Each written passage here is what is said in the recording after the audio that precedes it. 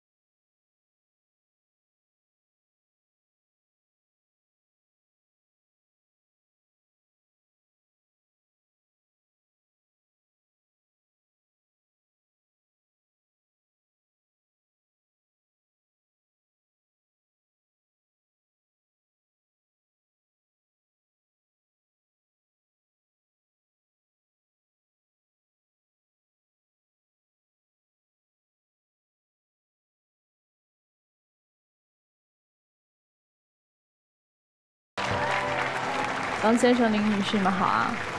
把结婚当成了救命稻草，我觉得林女士，你可能会有一天特别后悔自己做出这样一个决定，用结婚来挽回一段已经千疮百孔的感情。我不知道，就是这个结婚对你们来说有什么意义？你们把结婚这件事儿弄得特别的不美好。然后谁都想做对方的主，但都做不了。但我们大面上看是女方主宰男方，但实际男生你主意非常的硬，而女生有的时候可能也就是不服气的这一点。我明明已经能够决定很多事情，为什么到这件事情上我就主宰不了呢？用打骂来催促他进步，这就是你们之间的这种关系。我并不觉得你们之间有爱，你们已经是一种扭曲的状态了。女生对待男生的这种状态，就是你只要不听我的，不服管，我就非打即骂。你自己应该好好想一想，你对他好吗？就我喜欢一个人，爱一个人，我最起码最基本的应该是我对他好，最基本的都没有。同样，男生也一样，你对他好吗？听话就是对他好吗？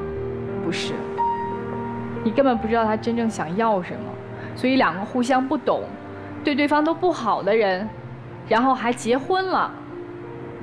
冷静一下吧，双方都是，谢谢。好，谢谢山大老师。其实我感觉到的更多的是你们相处的方式就是一种扭曲的，女生。你对他其实根本就看不起，你把你所有对他的这种不屑，全都通过笨、蠢、滚这种语言去发泄出来，他的伤害是非常大。种种极端的情绪，你又觉得自己好像又愧对于他，所以呢，你把这个领证结婚看的是一种管理他的手段。我打你一巴掌是不是？哎，我再揉揉你，结婚吧，啊，领证吧。但实则你根本就不想也不愿意。让他作为你的丈夫，你只是在这种暴力管控的方式，用一个条件让他过来而已，所以你根本就不愿意去他那儿去办婚礼。也可能在你潜意识当中，或者在他的意识当中，真正的婚礼才能是我结婚的那种仪式感。所以现在看呢，你们根本就没有自己要结婚的感觉，种种的你们相处的方式就是一种扭曲的。一个女性对于男性这种不尊重，同样她也对你不尊重。你不给我一百块钱吗？行，我这边偷偷在在转钱。你们就在这互相制约着，互相抵抗着。而真正两个夫妻的关系不可能是对抗，这只是占有，只是管理与被管理。认清现在的状态吧，就这样。好，谢谢曲总。